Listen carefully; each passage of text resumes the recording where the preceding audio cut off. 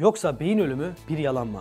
Rockefeller'in Harvard Üniversitesi 1968'de beyin ölümü yalanını icat etti. Beyin ölümü zenginler için bir ilaçtı. Birkaç örnek vermek gerekirse İngiltere'de trafik kazası sonrası 22 yaşındaki Sam Hemming isimli öğrenciye doktorlar beyin ölümü gerçekleşti raporu verdiler. Annesi organları vermek istemedi. Bunun üzerine yaşam destek makinesinin fişini çekmeye karar verdiler. O sırada Sam ayak parmaklarını oynattı ve 19 gün sonra uyanan kız başında konuşulanları da duyduğunu söyledi. Bir başka örnekten daha bahsedelim. ABD'de 13 yaşındaki Trenton McKinley'in beyin ölümünün gerçekleştiğini, organlarının da bağış bekleyen 5 çocuk için uyumlu olabileceğini söylemişti doktorlar. Organları verilecek kişilerle ilgili işlemler sürerken çocuk konuşmaya başladı. Annesi şöyle demişti. Cani doktorlar, oğlumun beyin ölümünün gerçekleştiğini söylediler. Bağış için evrakları imzalamıştım. Ama o artık yürüyor, konuşuyor, kitap okuyor. Victoria Arlen için de 11 yaşındayken beyin ölümü gerçekleşti deniliyor.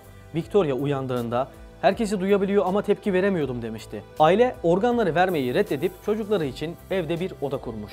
Çocuk 2 yıl komada kalmış. Yıllar sonra uyanan Victoria şöyle anlatıyor. Ailem bana inandı. Evimize benim için hastane odası inşa ettiler. 3 erkek kardeşim bana sürekli ben orada yatıyorken dışarıda neler olduğunu anlattılar. Güçlenmeme yardımcı oldular.